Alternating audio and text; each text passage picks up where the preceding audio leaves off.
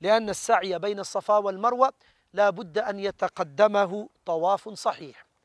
الشرط الثاني البدء بالصفا.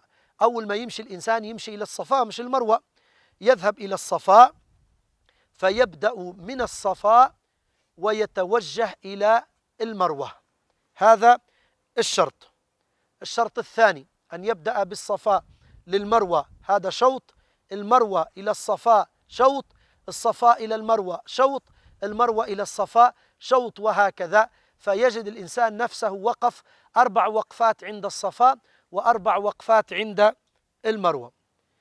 من شروط صحة السعي أيضا تتابع الأشواط كما ذكرنا في مسألة الموالاة في الطواف كذلك السعي هنا يكون فيه تتابع الأشواط. إلا إذا مثل يعني الإنسان حصل له ظرف مثلا الإنسان هو في الشوط الثاني أو الثالث أقيمت عليه الصلاة فيصلي في مكانه وبعد أن يكمل صلاته يستأنف من حيث وقف.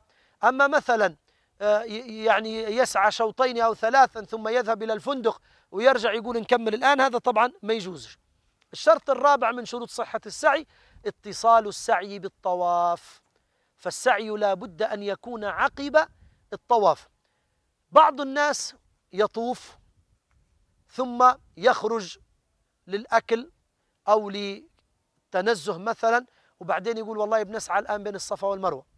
هنا يعني بطل لأنه يشترط اتصال السعي بالطواف. فماذا يفعل هنا؟